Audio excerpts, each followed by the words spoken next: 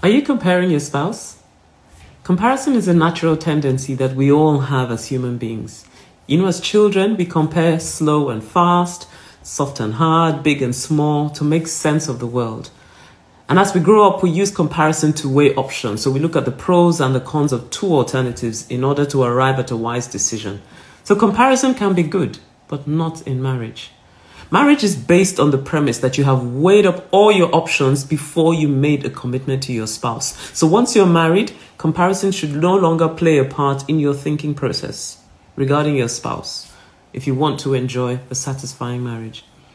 Comparison shows up in marriage when you find yourself estimating the similarities and the differences between your spouse and someone else, whether it's a friend spouse or a friend or an ex or a parent. At its worst, Comparison means that you have measured your spouse against the standard that you believe another person has set, and you have decided that your spouse is lacking.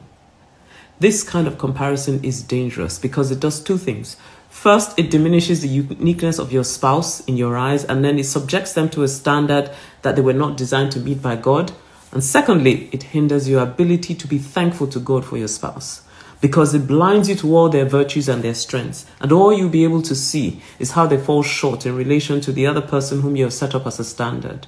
So if you have a tendency to compare your spouse, stop and consider the damage that it is doing to your marriage. The feeling of dissatisfaction that you feel may be because you have lost sight of what you have and you've become obsessed with what you don't have. So choose today to cure yourself from comparison with thoughtfulness and kindness. Smarter decisions lead to better relationships.